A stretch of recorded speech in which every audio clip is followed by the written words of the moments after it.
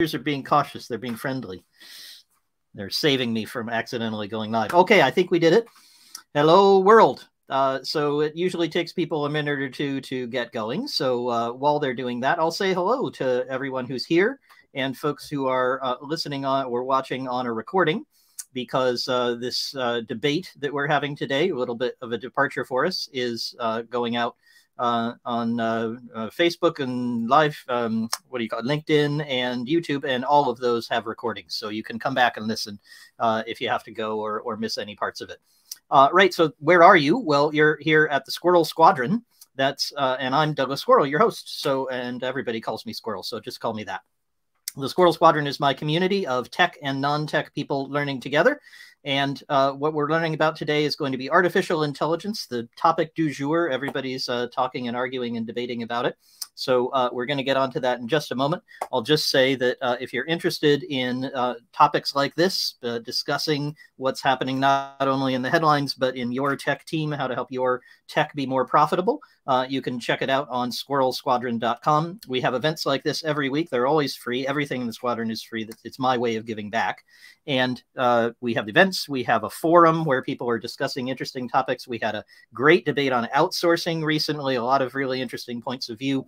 Um, we had uh, we have a wonderful question from someone I think is here. I, I owe an answer to uh, on uh, what AI is going to do to the workplace. We're, we're probably not going to get into that with Dan today, but great discussions on relevant topics. Uh, what um, discussions are coming up soon? Well, I'm in Krakow talking about why you don't need Scrum in a couple of weeks. Uh, we're doing more free events on uh, disappointing people, for example, why, for example, why that's helpful, why it's a good idea to disappoint people. Um, so all about how to manage your team, how to deal with your tech team, how to have better conversations.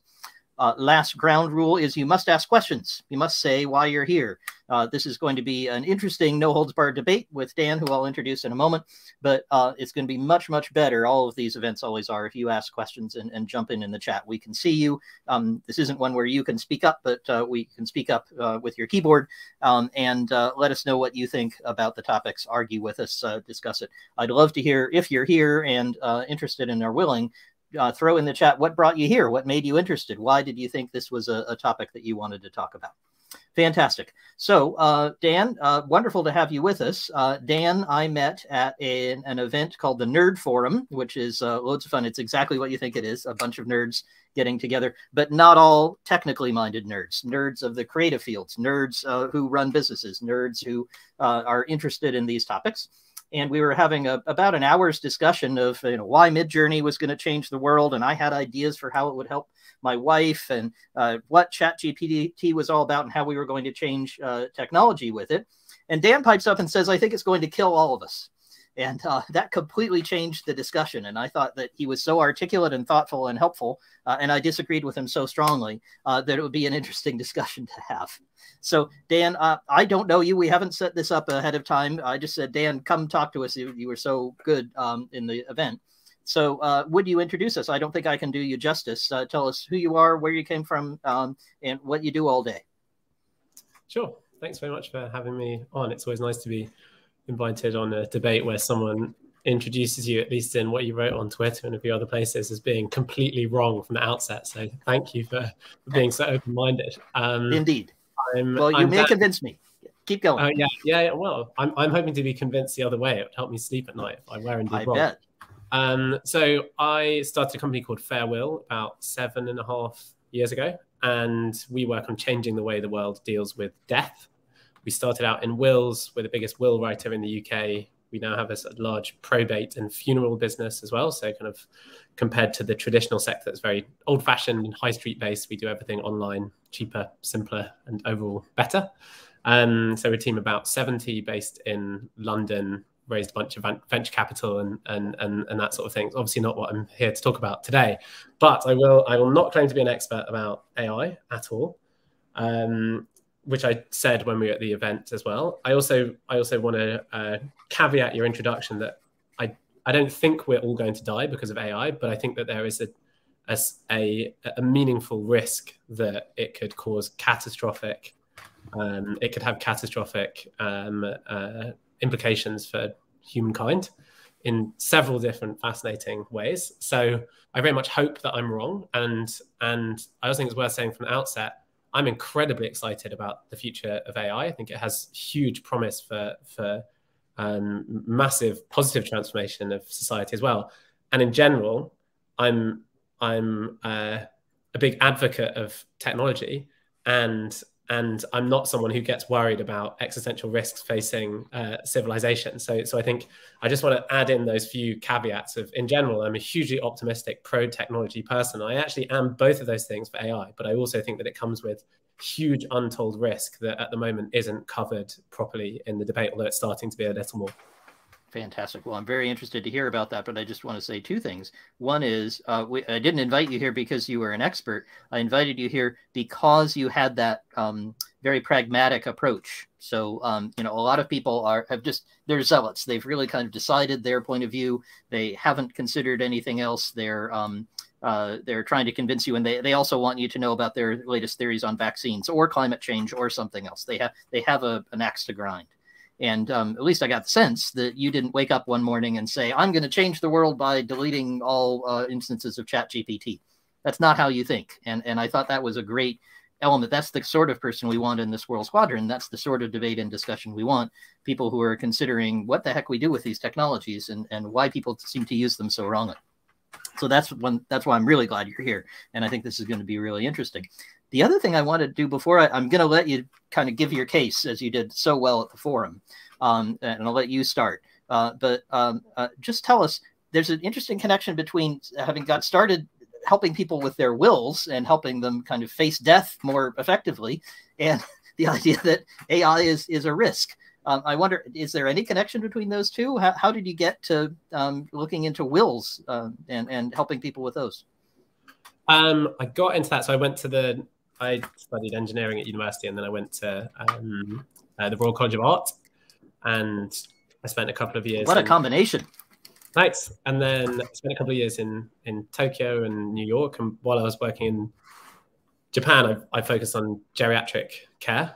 Um, the type of design I've always been drawn to, rather than it being the purely aesthetic side of things, it's sort of tricky human problem solving. And whilst I was working on that, I thought, uh, you know, we only focused on the physical side of aging rather than the fact that that you know people were terrified of dying. They had no way of dealing with it. They didn't have their friends or family around. And when I came back to the UK, UK, I spent a couple of months in the death industry purely out of curiosity. And and I thought, now, what do you mean by the death industry? I could think of several meanings um, uh, funerals and wills and probate, learning as much they could about it. Um, and ended up thinking, wow, you know, this is basically the biggest consumer market that's been untouched, not just by technology, but by any kind of customer centricity. It looks and feels like something from the 14th century or whatever, like your house is. Um, so 15th century. Um, so, so for me, it's just a really interesting combination of, of a kind of very untouched market and also something that there's there's a uh, an experiment that was done, I think, in the 70s called the Holmes and Rahe stress scale. It rates everything that you can go through in your life out of 100 in terms of basically how awful it is. The thing that scores 100 is the death of a spouse, a parent, or a best friend.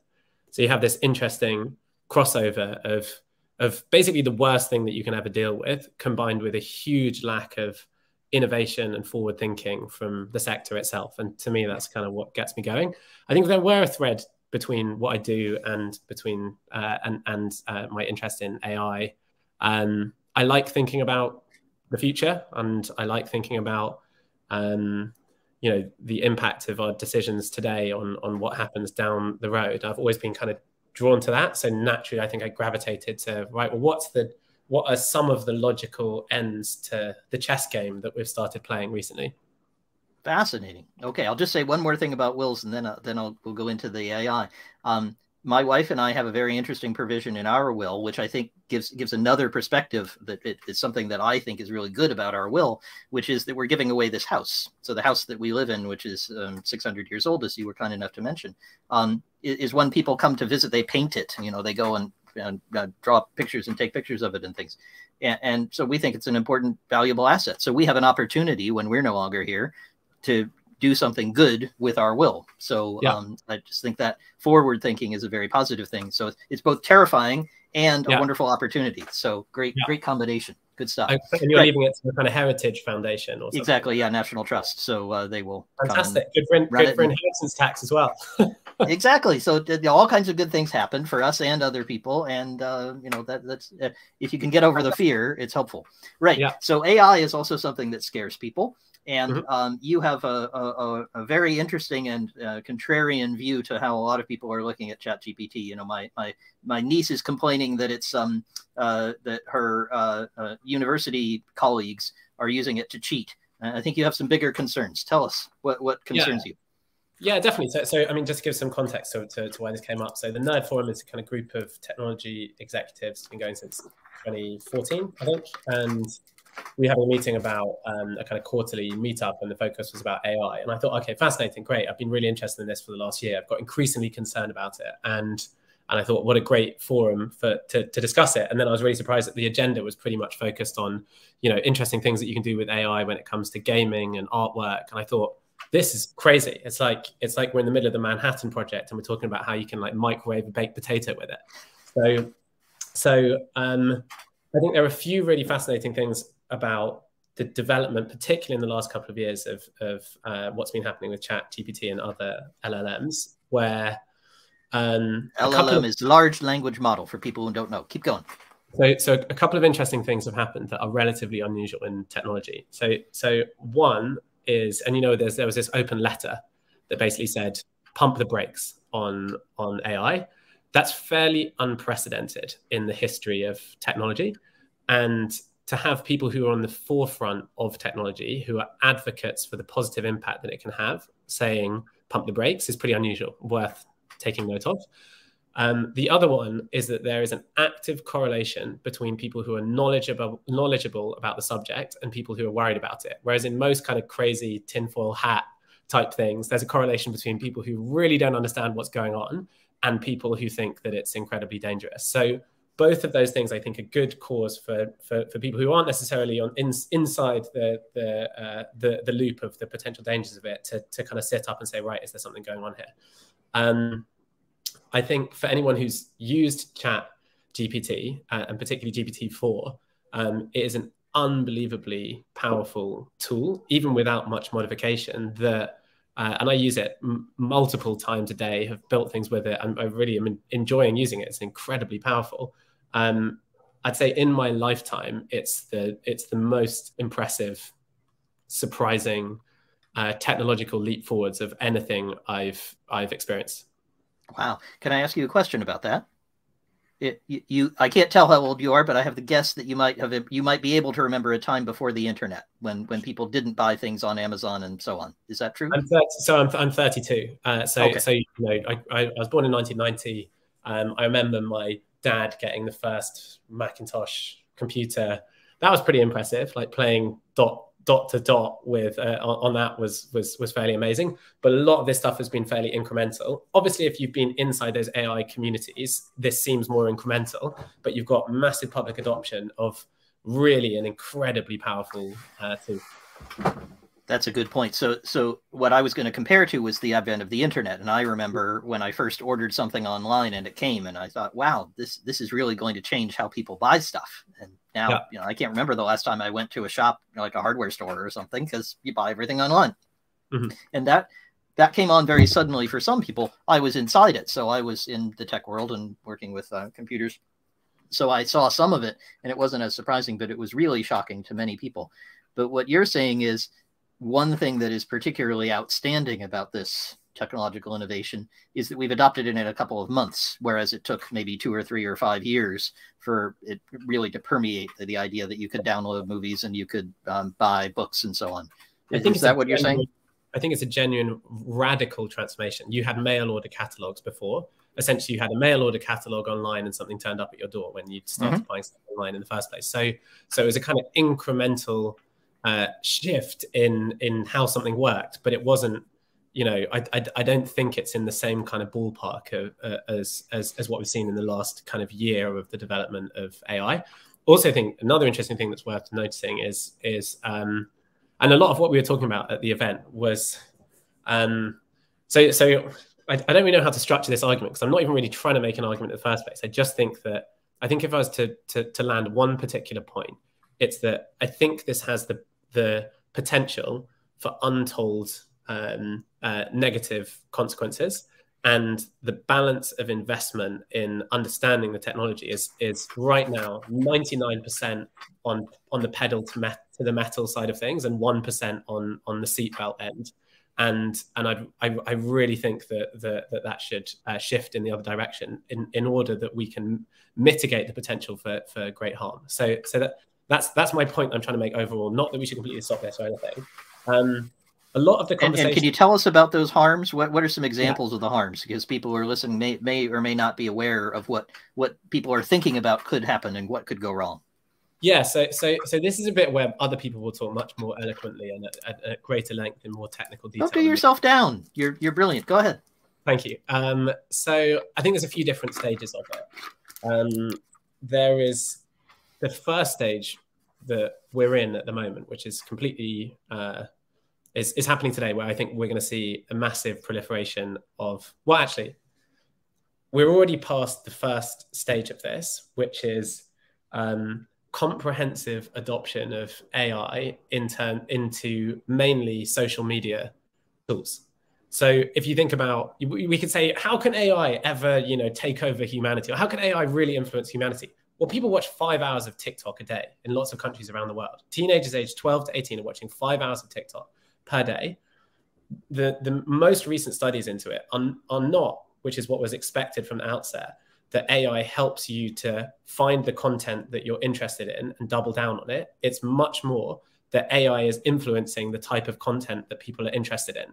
So, already today, a massive proportion of the waking hours of the future of the entire Earth are dictated by an AI that no one knows what's going on inside the hood of an AI. So, so I think what you're saying there is, is TikTok specifically is using an AI to determine what um, uh, video you see next, and Precisely. Facebook does the same, and Google yeah. does the same with Google Search, and Microsoft yeah. does it with Bing, and so on. Okay, yeah, people exactly. may not be aware of that, but that that is certainly true.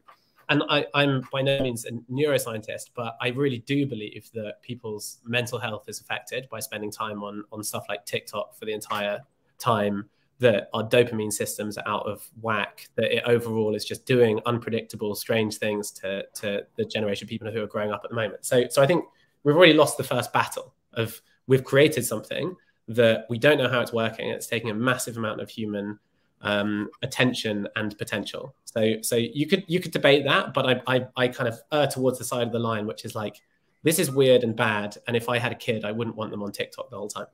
I think not only TikTok, but also we have uh, people influencing elections and promoting the kinds of tinfoil hat theories we were denigrating a moment ago. We have yeah. some pretty negative things that are happening. The thing I'd say about that is those were happening in 2010. So I agree those are bad things, but those yeah. feel more like they've been kind of gradually coming on. We've observed them. We're we're doing mm. something about them as a society. I'm sure we could do a lot more. Yeah. But those don't seem incremental and sudden and dangerous in the way I, I think some of your other harms might be. Yeah, I think that's definitely true. I think that the manpower it has taken in the past to have a reasonably sophisticated disinformation campaign is is significant, um, and and um, and the sophistication you need pretty much yeah. to be a nation state to use the really sophisticated tools to influence a, a major country election. Exactly. So, so I think these tools might make it much easier. Like in exactly. So it's massively reducing the the barrier to this to controlling this sort of disinformation. And in East Germany, at one point, to run a regime, is it the Stasi? Is that the is Stasi? That that's right. Yep. Stasi in East Germany, which basically controlled the entire media, controlled the entire population. They employed 20% of the population of East Germany in order to carry that out. So so yeah, you know, you, you've always been able to do this stuff, but if one in five people has to be has to be in the loop, then that's a fairly big observable um, uh, factor. So so some some different thought experiments that are interesting at the moment. So so um, WhatsApp. Let's so so, so, so um, let me couch this in something that I find really interesting, which is that most people find it difficult to anticipate uh, exponential increases in in anything. I I find it difficult to to to, to, to truly under, ex, uh, understand exponentiality. I think most people it's just like counterintuitive. even there's a wonderful lecture um, which I'll put on the forum after this. Um, help me remember. I'm going to ask Laura, who's watching us, our our community manager, to help me remember. There's an absolutely wonderful lecture if I can find it that just illustrates all this and shows you just how un unaware people are of something that grows exponentially because it grows yeah. incredibly slowly at first. That's the thing that yeah. fools you is it goes very slow and then it takes off and it, it, looks like it's just taking over instantly and it's an instant transition. So exactly. you're, you're so, arguing that this is this is going to be an exponential transition. What what's going to transition? Well, so so I think this this is kind of doubly exponential in a way. The it has the potential, I believe it logically has the potential to have two kinds of exponentiality to it, where you could say mushrooms growing in a forest have an exponential growth pattern. But sure, you know, every year they double in size. So if they were left untouched for 100 years, it would, you know, control the whole surface of the earth or something. But it's slow and you can react to it and the rest of it. The, the improvement in computational power, and I would, in a way, and me and you debated this in the event, intelligence, as far as I'm concerned, is improving exponentially. I think you reach you. It's totally logically logically possible, as far as I'm concerned, for that intelligence to unlock further gains in the power of those models themselves, or in the underlying computing hardware that allows it to not be rate limited like the growth of a mushroom is. So you can have this exponential improvement, but that then is reinforced and it allows it to, you know, what people have called for a long time the technology singularity, which is the idea that, you know, me and you are here chatting about chat GPT, about uh, GPT-4, and then in, in, in six months time, we'll be like, oh my God, GPT-5 is, is mind blowing. And then in a year's time, we'll be like, wow, GPT-6 has really changed the nature of society. And then we'll be like, wow, and chat GPT set, boom, lights out. Everyone's like chained to a radiator by a bunch of ro- robots. Um, so, so I know that's. So, I know let's slow that down because that, yeah. that may not make sense to everybody listening if they're not following this. Uh, I, yeah. I follow it, but but let me just make sure I've heard it right. Yeah. So, what what happens first in order to make that doubly exponential phenomenon happen is that you, you get the the robots, you get the chat GPTs and the Bings and the Bards and all these wonderful two of the Midjourneys in a state where they actually start modifying themselves. So mm-hmm. uh, we're not at that state yet, as far as I know. There's there may be somebody out there who's mod- who's using ChatGPT to update itself, but yeah. but it's not it's not taking that we haven't hit the the the, the um, sharp part of that curve. Yeah. But when that happens, the argument is that then the computer moves so fast, uh, it takes milliseconds for it to to compute things, and uh, whereas humans would take years to produce yeah. something like ChatGPT, and in fact they did the the chat you go to, to four and then five and then six, seven, eight, nine, ten, and you're suddenly at an incredible rate yeah. of improvement. Yeah, yeah, exactly. Um, which to me just logically so, checks out. So mm-hmm. so so so I don't I don't think that that necessarily is it's it's not really a question that's debated very much. It's much more in the AI world a question of um, of sort of when rather than if. I think there are limitations of okay, well, you could have a singularity of of something that was able to process unlimited information, but what is it? What does unlimited intelligence necessarily look like? Is it that much more powerful than our intelligence? And that's a really complicated question to answer. The thing that I'm going to come back in, to that. I want to keep going, but I, I, want to let you describe the harms. So, yeah, so, so, so we, we go to six, seven, eight, nine, and we suddenly at this great yeah. speed but but then you got to, to robots suddenly vaporizing the, the, the planet. So I think that moves yeah, a little yeah. fast. Help us out. Yeah, completely. So, so I think there's a couple of different stages of this. The first stage, which we're already in, is that computers and AI have categorically proven that they can overpower human reasoning and rationale because people watch five hours of TikTok a day. So we already necessarily aren't able to achieve the goals that we've set ourselves because we're distractible in this way. You know, AI There's another point out... I want to come back to. I just want to put a pin in it here. They had human help. So they were humans who who assisted the computers in like getting yeah. onto phones and telling them about how phones worked and so on. So it's a human plus computer, something I call a centaur. It's a term from chess, where you get a human and a computer working together. But keep going. Yeah. I want yeah, to come so back to that. So the first ninety percent of what's terrifying about this is is did you describe a centaur or centaur? uh, whichever way you say, I'm not sure. I'm not Greek. It's a yeah. Greek mythological. Uh, it's yeah, yeah. half horse, half human, but I never know quite so, how to so, say it right. Um, so the the centaur thing is is you know the first ninety percent of what's terrifying about this for sure. You know this this has the potential instead of needing twenty percent of East Germany to work for the Stasi, for a small group of people to to carry out massive disinformation or, or scam campaigns. Um, if you take something like, and, and one of the things that is talked about a lot at the moment is cybersecurity, where people who work in cybersecurity are like, if we think that the cyber threats in the past have been an issue of national security or even just personal security, shit is about to hit the fan in a really serious way. This is like Indeed. really off the charts in terms of what you can do. Um, you know, I have you... a, a, client who uh, runs the largest lesbian dating app in the world, and I'm warning them to uh, look out for catfishing like you've never, you could never believe. Yeah. yeah. This yeah, yeah. incredible, perfect images, perfect con- conversation, romance yeah. scams like uh, uh, uh unbelievable. Keep going. Totally, Yeah. So, so, so one thing that's really scary is is the breakdown of um, of uh, kind of modern cryptographic techniques. Um, again, not my area of expertise, but uh, but can get scary. I think the phishing potential of of AI is is enormous. You know, in terms of fake voice calls, all the different types of things that you can do to scrape data from one place or another, to build a profile of someone, to convince them that they're speaking to their bank manager or a friend of theirs is possible today, very possible today. From this recording, someone could produce a completely passable fake of my face in my kitchen with my voice telling anyone to do anything. That's that's possible now, and they can even do it in real time. You could be essentially wearing my my face like a hat and speaking in real time to anyone that you wanted to. You could call my brother, you could call the Farewill, you could call our, our, our main company phone line, convince yeah. them it was me, say we need to why are all this. my well, why are all our money here you know yeah. the, the bank is so, about to collapse which so, is a realistic so, scenario right? Some people were doing that a few weeks ago.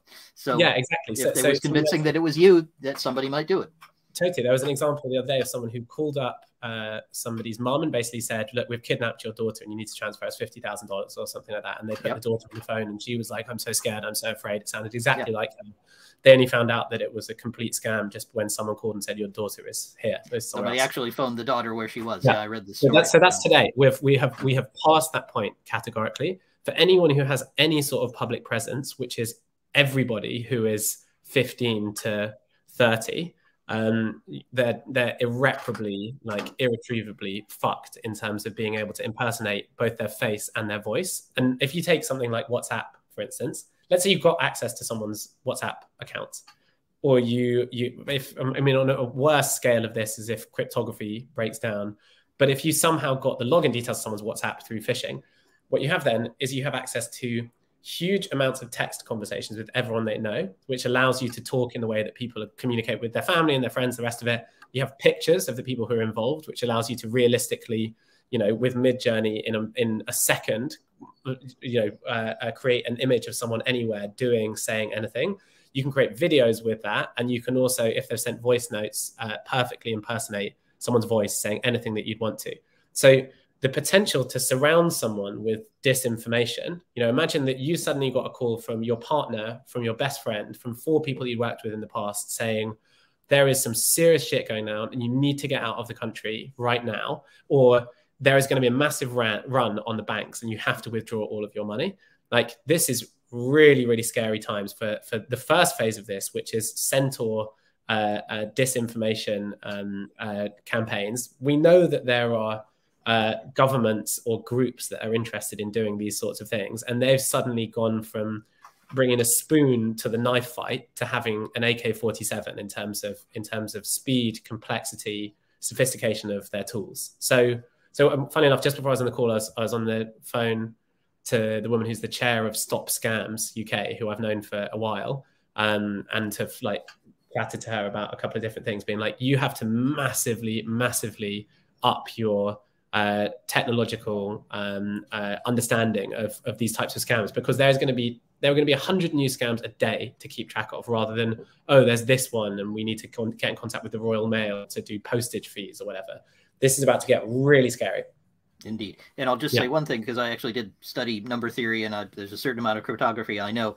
Don't worry too much about the cryptography. That that part is reasonably well handled, reasonably well worked on, and there's no reason to believe that the computers, absent massive singularity changes, are yeah. going to be able to do it, even if they become this sort of super intelligence.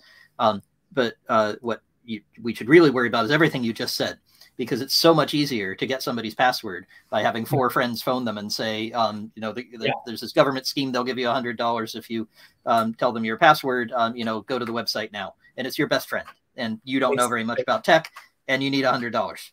That's the kind of thing that you know I just thought up in ten seconds right now that exactly. people are going to do all over the place because it is so trivial to do. And, okay, and so we're my understanding of it on the cryptography side of things as well. But then you know, even if you take an organization that, like you were saying about your friend running this this dating website, you know, someone has access to uh, lots of information inside the company who's uh, who's let's say their VP of engineering.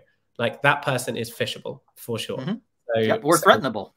Yeah. The one thing I used to worry about when I uh, ran uh, tech for a um, startup that had both financial data and kids data. We did kids finances, and so the yeah. toxic mix, right? We had really important stuff. I worried about um, somebody in that in those days actually physically kidnapping someone, yeah. and then threatening my system admin and saying, you know, give me all the information right now, or you know, if something happens to your your friend here. Yeah. But you can do that without actually having to kidnap anyone. That's the yeah. thing that's worrying. So we're okay. agreed there. There's very serious harms from centaurs. Yeah. So, so we, we haven't got to the robots vaporizing the earth yet. Tell us okay. more about that. Okay. So, so battle number one we've lost, which is AI plus a human can distract people and get them to do stuff with their life that no one would have anticipated.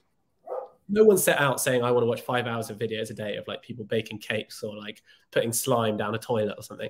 Um, so, so we've already lost the first battle. Second battle we're agreed on, which is the potential for major personal harm and also for, for kind of company disinformation and and and, and phishing.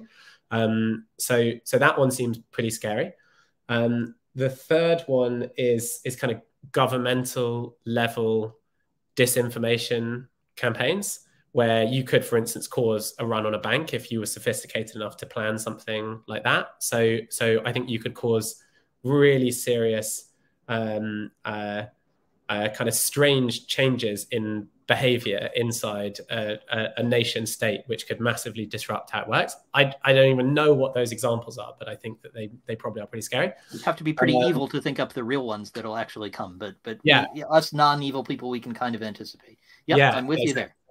So, so to whatever level you believe that there's been some kind of, you know, government interference, or, or it isn't even government government interference. I think that's the funny thing. It's just, it's just, it's just campaigning you know, people campaigning for a particular political party, suddenly, again, instead of bringing a spoon to the knife fight, they've got an AK 47. If they know how to use this stuff properly, it's incredible how powerful the next US election is going to be very, very interesting. Yeah. Not yeah. necessarily in a good way. Totally, totally. So, so, so that's pretty scary. Um, and it's it's fascinating how individual people's experience of information is. Like I said to my my brother's a music producer, and I was saying to him, "Ah, oh, you oh I mentioned a musician to him. And I was like you must have seen this guy. I don't even have I don't have any social media. I honestly don't. I occasionally watch videos on YouTube not because I'm don't like this stuff but because it is so addictive. I'm an, I'm an, have an addictive personality and once I start I just can't stop. So yep. so I, I, I have, have to, I have to like cold turkey it. I said to my brother oh you must have heard of this guy. He's everywhere. Every time I switch on he's absolutely everywhere. All the biggest artists are like copying his song. And my brother's like I've literally never heard of this guy. And my brother's a music producer. He does pop music day in day out. So and this is my brother. I talk to him basically every day. And we have a completely different worldview of what is important in terms of society and, and what's going on in the in the kind of cultural zeitgeist. So that's quite interesting. Um, so then to go, you know, a few steps down the road, there's a lot of the conversation, which is that kind of um, uh, Luddite narrative of this is going to put people out of work. I had to say that one is more of an unknown quantity for me, but I think that uh, it still is scary.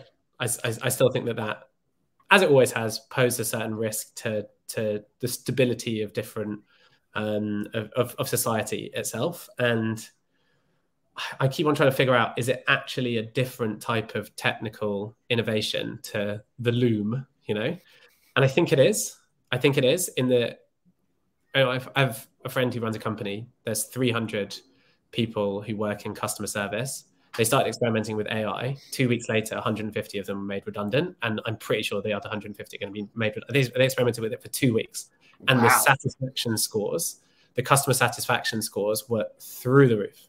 Mm-hmm. You know, you, you see amazing papers on, and this stuff you can take in any direction, but in terms of outperforming doctors in terms of diagnoses. So you're taking fields that are really specialist and you're starting to have AI and it's in its infancy at the moment that's outperforming top professionals. There's a great one on spotting brain tumors. And this was even this is way before even GPT-3.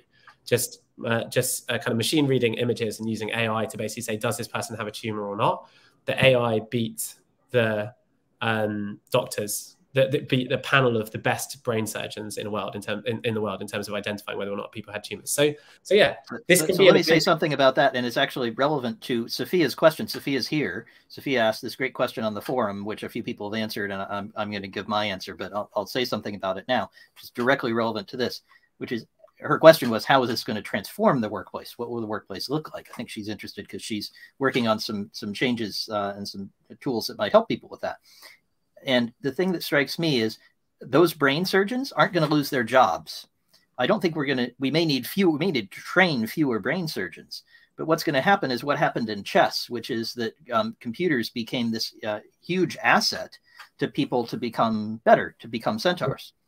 And uh, for the brain surgeons, I, I, think they're doing okay because we still we're not going to have the machines do the surgery anytime soon. I don't think. Yeah. Maybe we'll get there, but we're not there yet. Um, but um, evaluating the tumors with a brain surgeon standing there saying, well, actually, I know that's a shadow and it's fooling the computer, but man, it found this thing that I would never have found. Mm. That's really, really valuable and disruptive, but not going to knock out anybody's job. The example you gave of firing half the staff because uh, they're doing a routine task. I think that's the ones where we're really going to have trouble. I, I, have clients who do uh, things like um, uh, interpret what people have scribbled at the side of the road when they're filing a police report um, on a motor accident. And the insurance company, of course, is very interested in what people wrote at the time. But it's raining, and it's you know their handwriting's terrible, and so on. And it can make out much better, much better than a human what somebody wrote, and that's really mm. valuable to insurance companies. And there are human armies of humans who do that, who um, should look for new work. So I'm also with you here. Uh, yeah. We're agreeing more than I expected, which is great. But we haven't we haven't got to vaporizing the Earth yet. I know you're going to yeah. get there. Yeah, yeah, sure. so I thought so I thought we'd agree on that. And and you know, yeah, how exciting. You know, anyone who's ever waited any period of time for an operation or a diagnosis is not going to be listening to listening to us having this conversation, thinking, "Oh my God, now I'm going to get a higher fidelity diagnosis faster than I would have done before." No, let's shut this down. Like that's yeah. obviously amazing. It has the it has a benefit, like I said right from the beginning, for massive improvements in society there was a great TED talk that I think came out today or yesterday from oh, what's his name, the guy who runs a Khan Academy about AI hmm. in education. Yes. I haven't had a chance to watch that yet. I'll put that in the in the forum post. Keep going. It's, it's really inspiring and worth watching. It gives it, oh, it great. totally levels the playing field in terms of access to um, one-on-one tuition type learning environment, which is, let's face it, for me, for loads of other people, learning in a classroom is just not the way to do it. And there's a great example right at the beginning of that talk of the distribution of educational outcomes by whether you're in a classroom environment, like small group environment, or tutored. And you can just move up the average outcomes by two standard deviations by having that kind of one-on-one interaction. And already today, it's so good with their with their uh, sort of one-on-one learning AI. You know, you put in an answer and it will tell you why it's wrong and how to think about it differently. It will ask you to explain your reasoning. So, so that's fantastic. I mean, how exciting to be able to give everyone really world-class education. Um, so the caveat is it sometimes lies to you, but we've got used to that with Wikipedia, so um, we, yeah. we, can learn. We humans plus computers can so do teachers. You know, so so do teachers. exactly. Um, People manage to deal with that. My dog's excited about it. I'll just say one more thing, which is uh, Jessa has asked, um, what kind of mitigations are there? Jessa, I'm going to do my best to make sure we get there, but I want to let Dan fin- finish telling us about some of the dangers. But we'll, we'll talk yeah, about so, mitigations if we can. So, so, I think this is where this is where it gets much more difficult to describe in concrete terms, and and and it, you can stay into territory of sounding like you're a bit crazy when you start to talk about this stuff because because they're mainly sort of thought experiments, and there's a few different uh, famous ones that it's worth talking about. Um, so the uh, the way I think about this is is um, I definitely think a good description of of intelligence is is processing information, and the funny thing about the definition of of, of sort of um, artificial general intelligence, which is the point that people have always talked about in the past, is like, okay, this isn't scary until we get to AGI because AGI is is the turning point of now humans are smarter than machines. Uh, sorry, machines are smarter than humans. So I think we've struggled in the past to define that point of AGI, and there's begun to be a debate inside the AI community of maybe we've already passed it. And and the thing is, we we we and, think and the point about, there is the, the word general. It's it's the the the idea is Yeah. whatever it is you're building can do many different tasks. Can can Yeah. come to a task it's never touched before and work with it. And we've noticed that ChatGPT can kind of do that to to some Yeah. Go ahead. precisely precisely so so so i think um, a lot of the the so, so at the at the event that we were at there was a conversation which is really funny saying well gpt the, these kind of um, generative uh, algorithms have been really bad at, at rendering a hand that has five fingers on it and often they'll have six fingers on it and people are saying you know i think we don't have to worry for now because the hands have six fingers on them. And and my point my understanding there is is imagine there's a great um what's that thing called? That comic thing that's like xcx or X, what's- X, XKCD. yeah xkcd there's a there's a good one on ai and it's i, I think that i know it's or, or maybe it's not something else. I haven't think about it. It's basically let's say there are worms over here on this sort of intelligence spectrum then a few steps up the ladder there are humans and, and right now we are we are the apex predator when it comes to intelligence and and um they're, they're, they're totally logically could be something that was significantly more intelligent than a human in terms of its ability to process information, to find things out, research things.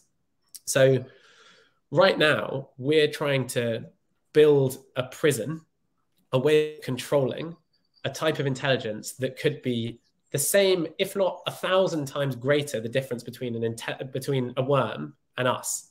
And our definition. So we're the worms, and they're the the uh, Yeah, hypothesis exactly. is the computer so- could become so- the the human. Yep, It could become and, the. and the problem is it's very difficult to it's very difficult to conceive of something that is a hundred times more intelligent than yourself. So, so a, But certainly, a worm would have trouble putting a human in prison. Exactly. So a worm would think about intelligence in terms of oh, you know, can it uh, dig a hole in the right direction? I don't know what worms spend their time on, but but they probably think, hey, I'm you know. We worms want to dig holes to find some bananas or whatever it is. Um, that probably isn't what they do, but but we think about intelligence. Oh, you know, can it can it solve this particular thing or is it capable of a type of thought that i actually think is quite human whereas Can, can it put five fingers on a hand? exactly and it's like who cares if you can put five fingers on a hand?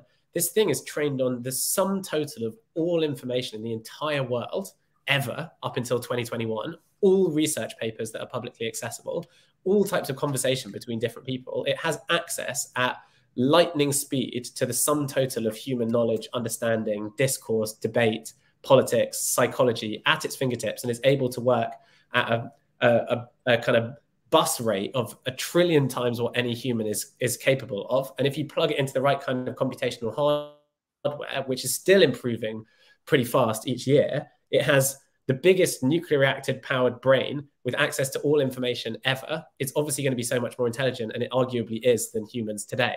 So, so a lot of the conversation is, well, how do we build the right guardrails to be able to control something so intelligent? And I find that a terrifying discussion because how would worms build a prison for a human? I think they'd have a pretty difficult time.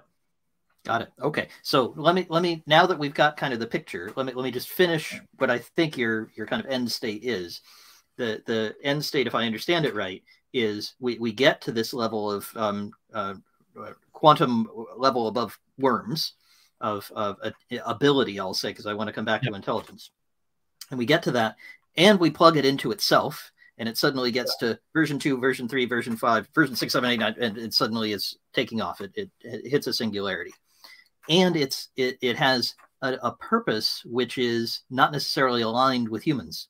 That doesn't have to be a negative purpose. The classic example is it might be really interested in making paper clips because the people who happen to build it work in a paperclip factory and that's what they ask the computer to help them do and because it is so super intelligent because it's so super able uh, it produces tons and tons of paper clips and eventually it um, uh, takes over the earth and mines all the iron in order to make more and more paper clips yeah that's a, a, a intentionally um, outrageous example but it's the sort yeah. of thing that i think is the end state of what what you're arguing dan is that right absolutely and and it's really interesting because i've never been very into sci-fi but the more I got interested in this debate, you start to realize the kind of the brilliance of some sci-fi books and films where they've actually yeah, they've they anticipated this. Out. They've played yeah. out this game of strategic chess, and they've actually been really thoughtful. And I, I said to a friend the other day, this is going to get me in trouble. But I was I was thinking I, I really got so worried about this. I was like, maybe the best thing I can do is literally fly around the world and personally murder everyone who's like in leading the field in AI because I think this is so troubling. And they were like, oh, just like in Terminator. But I haven't even seen Terminator. So obviously, so which is funny that I haven't seen it. And I'm not going to murder anyone, just just just for the record here. Yeah, don't worry, Dan. That's perfectly nice and friendly. There's nothing nothing to worry I, about from Dan. it's the AI he works with, maybe, maybe not. That's how worried okay. I was about it. Um, so so so yeah, I think the question is is a real misconception of like the robots are evil and they want to eat our brains. No, the robots aren't evil. The robots just don't care about us. You know, we don't care about the worms. Maybe we'll be subjugated and live in servitude to our like incredibly intelligent worm overlords, but maybe they'll just destroy us all because we're pointless. So almost whatever whatever instruction you give it.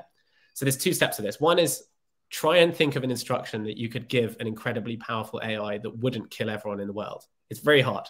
It's really hard to do that. Um, then, and you can be the most menial thing ever. And, and you know, lots of examples are like, oh, solve climate change. Well, yeah, solve climate change, just kill everyone. Um, and so that's one part. Or just cool, it, cool down the earth. That would be good. Let's make it cold, and then lots of yeah. people are cold, and that's not very good yeah. for humans. It's a very simple example. Uh, the, totally. so, possibility so for misinterpretation. That, that's one step of it, which is, and that still assumes we're in control of the robot here, that we're putting in an instruction that it carries out. I think it's easy to imagine that these types of that that it could generate an instruction for itself. I don't. That's, that's, where the, the worry comes. This it generates its own instruction. It yeah. the instruction includes improve yourself, and therefore you get this yeah. this kind of runaway um, uh, feedback loop. Okay. Exactly. Exactly. I've got the argument there. Let, let me just zero in on something which we discussed at the forum, but it didn't get fully through. And and we may run over a little bit. I don't know how you're fixed for time, but tell me when you need to go. But this is this is exciting.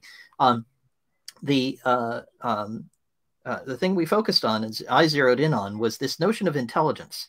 We don't have a great definition, so I'm not going to sit here and uh, try to get wordsmith it to get the right definition but it certainly strikes me as I use these tools and I and I know something about how they're built under the hood that I don't see intelligence there. I don't see that, for example, there's any reflection, that there's any ability to say, well, I thought this yesterday and I think this today. I knew how to make paper clips at a certain speed yesterday and I, I've reflected on that and now I'm going to make more paper clips today even more effectively. Yeah. That seems to be completely absent and, and it's absent by design. The, the, if you just leave Chat GPT alone, you don't type anything, it doesn't type anything back. There's no reflective activity going on there. And that seems like an inhe- in, in, inherent and important element of not only intelligence, but the ability to act in the world. So if Chat GPT is going to be the. Yeah, go ahead. Yeah. I, so I think a couple of a couple of thought experiments that could provide a counterexample there is great. What's please. The, what's the what's the feedback loop that you give it? So so um, you can already have a conversation with GPT-4 and, and you'll say to it, this isn't the answer I was looking for. I was actually looking for more of this and it will go back and refine itself. And I, I don't know mm-hmm. exactly know how this is built, but I imagine that this is being trained. GPT-4 is being trained by a massive amount of interaction with it. So it is. So it is, and I, can tell you that one. So so what's happening is that it reads the um the transcript of what you've got so far, and it looks for mm-hmm. whatever it can add to that transcript that looks the most yeah. convincing, that's most valuable. So the extent of its memory is just back to when you started that conversation. If you start another conversation tomorrow, and you say, "What were you thinking about yesterday?" I want to pick up our conversation and and and discuss what we were thinking about, and I want to know what you've come up with since then. What have you been thinking yeah. about? It doesn't have that. It's it's not yeah, even possible it's, it's, to have it. It's not programmed to do that but it is possible to it's program not... it to do that. It is. You could get How? From, well, you could. Go, I mean, you're saying, what did you learn yesterday versus today? If I had a conversation with it yesterday where I said to it, you know, whatever, come up with something. No, I don't think that's very good. I think this is better. It would start to be informed by all of its experience of interacting with humans. So this is only so you give it some way to go back and, and look at its previous conversations. Right. But but what it doesn't do is is sit there and think about. You know, I did some thinking this afternoon. I just sat in my chair and I thought, and I, I came up with new ideas that. that I'll use. But you could it easily design it. You could design it to do that theoretically. I don't see why that's impossible. I, I, think we could have a long technical discussion on how you do that, which is not the purpose of the conversation. So I won't go into it. But I think that's one place where I find it very hard to be convinced that we have a chain that leads to um, some of these harms. I totally buy it that we're going to have scams and we're going to have yeah. um, um, uh, people really tricked and and misinformation everywhere. That I'm I'm I'm with you on.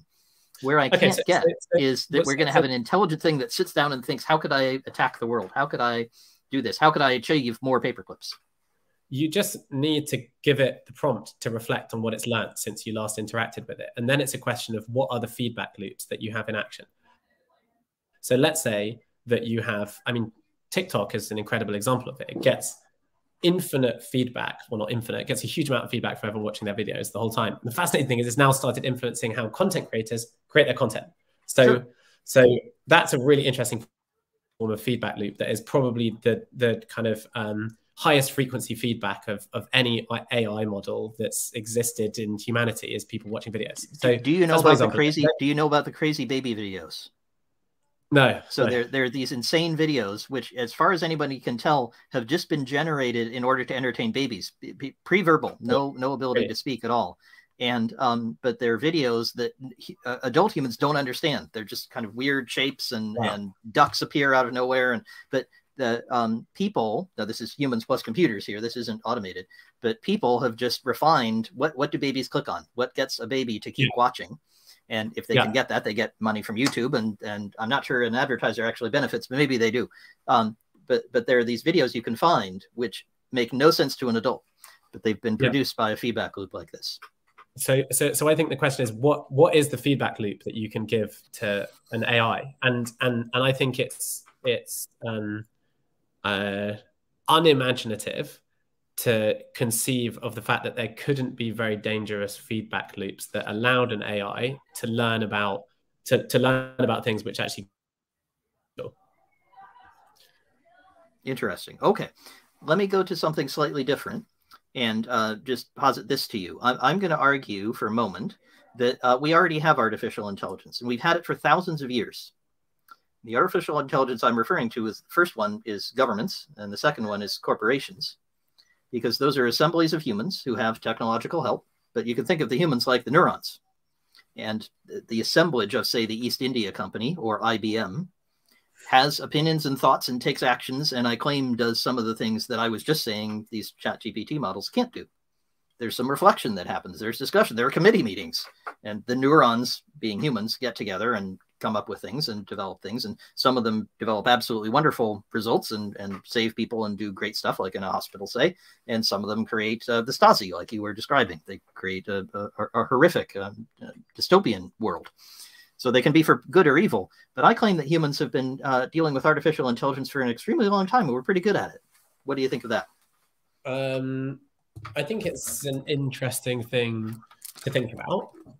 Um, and I, I think the interesting part of that point as well is there are unintended consequences of sort of organizational AI, if you want to think about it like that, where profit maximization, you know, probably the people running massive oil companies and and you know I'm, I, uh, are, are not evil people. In general, people aren't evil people, and and weird things happen in groups and weird unintended consequences happen when you're Think of the tobacco industry. Nobody woke exactly. up in the morning thinking, I'm going to go to work today and poison right. people. That just was not exactly. what they thought about when they went to go to the field and harvest totally. tobacco and roll it into cigarettes. But so that was the result of the organization, yes. which was really optimized and had a lot of feedback to get it to so, be as good at killing people as possible. So or I think, at least making them very ill so they keep buying. I think there are a few things that I'd say about that.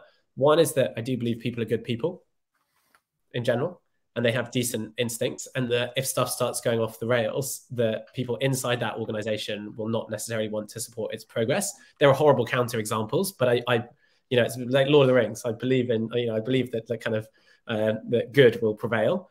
Um, the second part of it is the terrifying pace of um, of of exponential improvement in the intelligence and power of, of, of this AI relative to the East India Company, for instance, is just like it isn't. You couldn't hundreds of years before they could enslave a bunch of people exactly. in India and exactly. take over and so on and do things that were awful. Here, it might take hundreds of seconds. Totally, yeah. And then the third one is is um, that actually regulation, the development of society, the sort of people growing up in a timescale where they're educated about these new technologies and they sort of understand how to integrate the morals or cultural principles of their society with these things that can be slightly off in a different direction, and ultimately they they can come back to sort of uh, good principles that form the backbone of of humanity. I think those things actually move in a phase where they're reasonably well interrelated. And if people grow up under total oppression, they normally get horribly fed up of it. And then there's a whole generation of people who hate it and rebel against it. And there's kind of, you can, you, it kind of moves and flexes in that sort of way.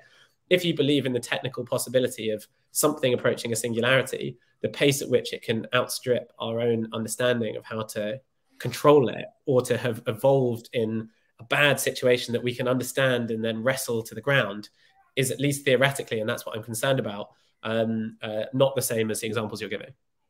I uh, take your point, and I'm very interested in it. In the interest of time, I'm going to move on to just one more where I think we we also might agree um, more than we disagree on some of these other points, um, and, and, that is what uh, uh, uh, I think it's Jeffrey, but it might be Gregory Hinton, um, the uh, father of AI, very, very prominent uh, person at Google, has just announced. So he's quit Google. He says, I want to tell people that AI is something you should worry about. And mm-hmm. uh, as he was announcing that earlier this week, I was thinking maybe I'm on the wrong side of history here. You know, I'm going to yeah. take on Dan, but uh, we, we, we should be discussing this. I think that's what we would definitely violently agree on, you and me, Dan, is that this is a topic worthy of discussion. We should be discussing it more. Um, but what Hinton said was, uh, and it was very interesting, he's most worried about military applications, which is, as a, as a lifelong pacifist, that's something that's very interesting to me. Um, yeah. And he says, uh, look, uh, Putin could get hold of one of these tools and start using it to program uh, drones and uh, robots that drive or robot tanks and things and, and yeah. target people in Ukraine. That would be a very, that's quite imaginable. And those oh, getting out of control is also imaginable. Yeah.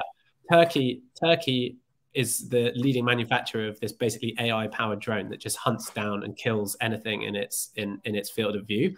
Some of the stuff that's happening between China and Taiwan at the moment is like the most sophisticated preparation for technical technological warfare that's ever happened. There was this kind of blackout of GPS technology over Taiwan that happened over the biggest radius that anyone's ever done it before. That was a few weeks ago. So so yeah, I mean it's terrifying. It's really, really terrifying. And, and and the thing is, it's it's it's not just Geoffrey Hinton. You know, it's it's it's a lot of people who've been there throughout the entire evolution of these systems, who also are finding that when they guess, oh, we'll be able to do this thing in three years' time, that thing is then happening in two years' time or one year's time. Even GPT three to four surprised Sam Altman and the people who made it, where they were like, "Whoa, this is powerful." So if you and, keep and on, it came faster than they thought. That, so, and, so if it's right now, the, yep. if, if it's a bit off the curve today, it's going to be more off the curve next time round. And if it starts to have any semblance of this kind of recursive improvement, then then yeah, you know, we're just going to be chained to a radiator, getting getting getting flogged by our robot overlords. Okay. Well, I do want to make sure we get to Jess's point because Jess is being hopeful, and, and Dan, you've also been hopeful, which I'm very glad. You know, people are fundamentally good, says Dan. I'm, I'm glad to hear that, and I agree. Uh, Jessa says, "What do we do about this?" So, uh, what, what would Dan suggest that we do to mitigate these risks? Because as as you also said, Dan, we're not going to throw this away. You use it multiple times a day. Yeah. I'm programming things all the time in it. Um, it it's hugely useful and beneficial yeah. to large bits of humanity what the heck do we do to protect ourselves? Yeah. What do you think, Dan? Um, so there's some really, really interesting ideas here, and, and I'm just going to be paraphrasing other people's ideas who've thought about this in, in, in more, more detail than I have. There's the really extreme end of things, which is like you have to shut this down right now. I think that argument isn't the right argument because there's an international, you know, you can call it an arms race if you want to develop the most powerful one of these models. India, China, Russia, everyone's working at this stuff. Uh, uh and the knowledge is out of the box. It's it's not like it's, it's, it's hidden somewhere. There would be some way to put it back in the in the nice little container and say you can't touch exactly. this anymore. Totally. So so some people will say, okay, well, what we need is is some kind of I can't remember what the declaration is of, of the thing where basically everyone agreed to not blow each other up with nuclear weapons, but, but mutual assured destruction (MAD). One. Of, oh. Dan froze. Um, Uh-oh. else as well. That we were just going to uh, hear. Remember, Dan, can you still hear me? Yes, can you hear can me now? Sorry, we just we can. Go ahead yeah. and tell us what. How do we mitigate? Um, and so so so you could say, okay, right. Well, this is this is nuclear threat level international diplomacy. Anyone who buys a certain amount of hardware that's powered in a particular way, anyone who's openly working on this stuff, we will we will nuke you.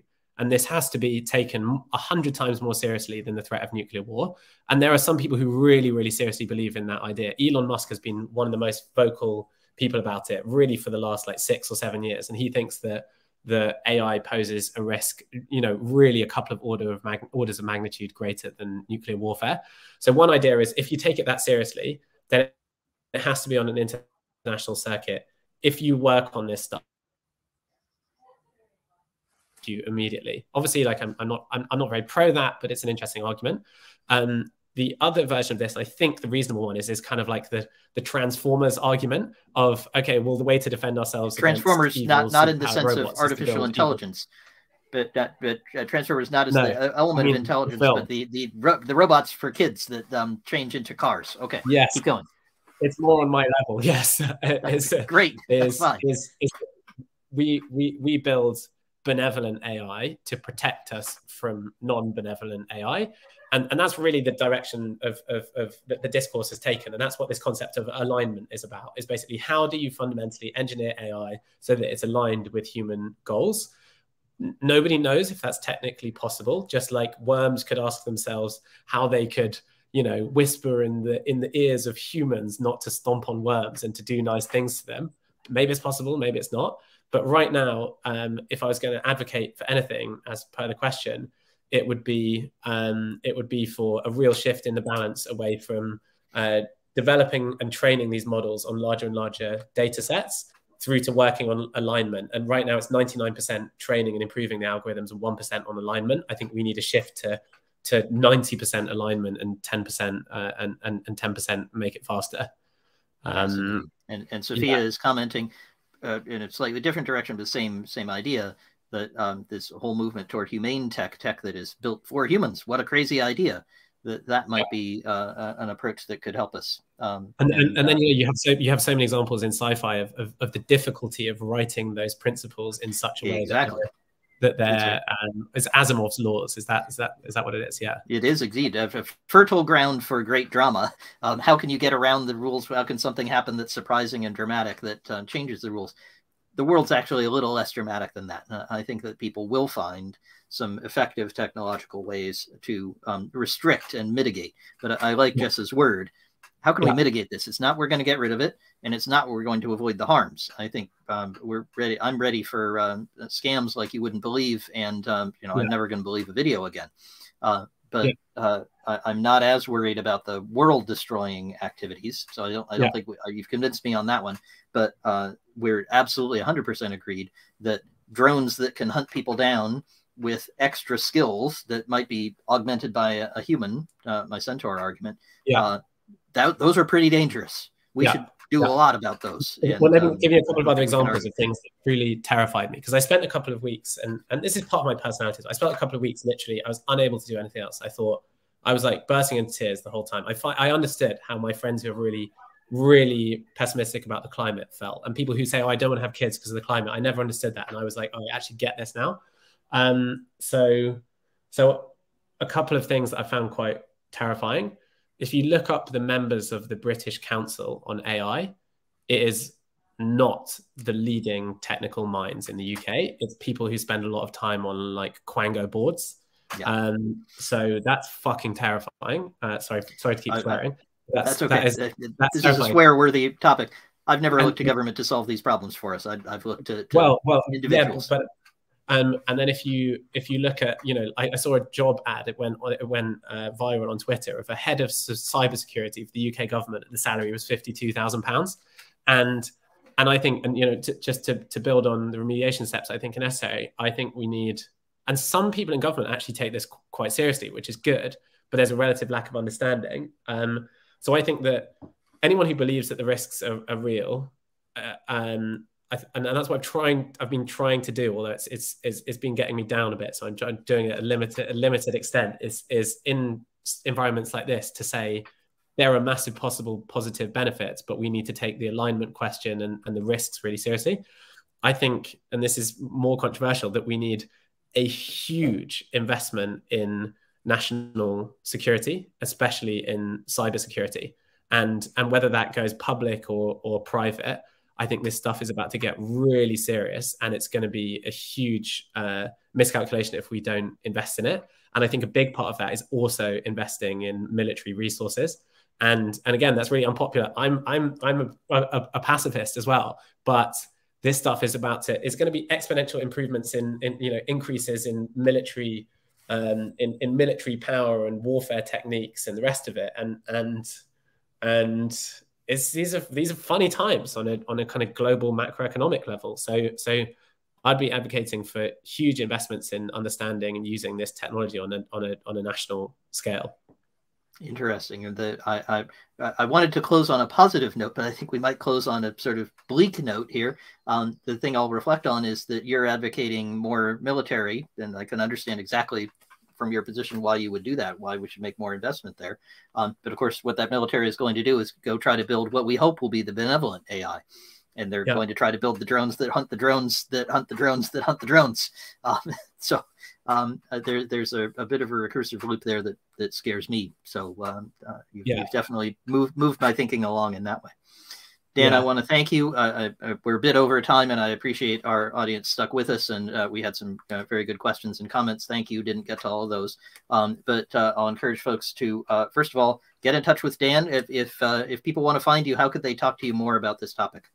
Well, I actually, um, uh, as politely as possible, don't really want to talk about it more because because the okay. other the, the, final end getting you down. Okay. My conclusion of all of this stuff is like, what am I going to do about it? You know, and either it will be fine or it won't be fine. But much like anything else, you should just sort of focus on on on like kind of leading a good life and having fun. So so so in the nicest possible way, please don't talk to me about this.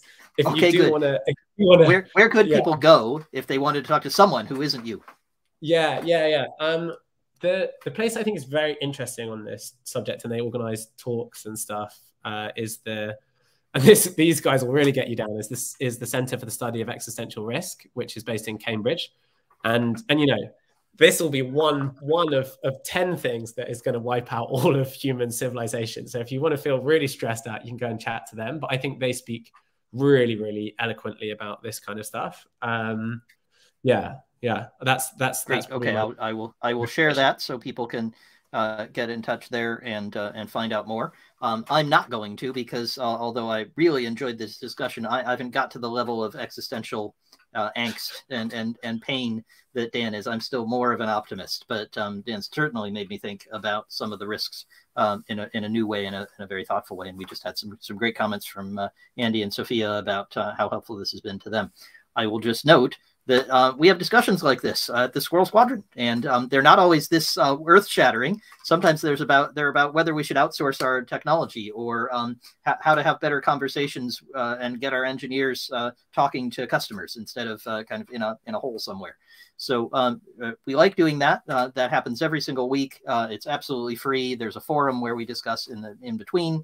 Um, weekly emails, all kinds of good things. So um, I'll just encourage folks to have a look over there. Um, I, I, promise that uh, next week's uh, topic, which if uh, memory serves is disappointing people, will not be nearly so uh, um, earth-shattering and uh, difficult, but will be really helpful uh, to people who want to improve their technology, make a, profit from their technology, make their technology teams as effective as possible, whether they're building benevolent AI or a better mousetrap. So um, happy to have Dan here. Thank you again, and to have all of you and uh, enjoy uh, the rest of your day. Thank you so much.